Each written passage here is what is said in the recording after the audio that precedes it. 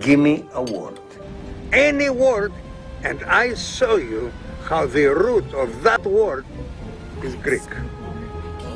Okay? How about arachnophobia?